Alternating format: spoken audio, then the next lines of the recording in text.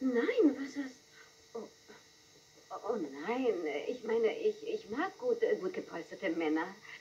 Ich war viele Jahre lang in meinem Cousin Trevor verknallt und äh, der war sehr korpulent. Vielleicht ist es körperlich. Dieses Gefühl. Oh ja, selbstverständlich. Nein, es ist bestimmt körperlich. Und aus heiterem Himmel bekomme ich diese, diese plötzlichen Sorgen um ihr, ihr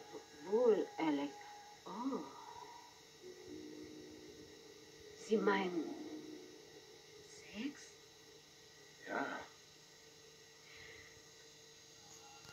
Daran hatte ich nicht gedacht. Ich aber. Wirklich? Ja. Ja, dann ist es wahrscheinlich möglich. Ja.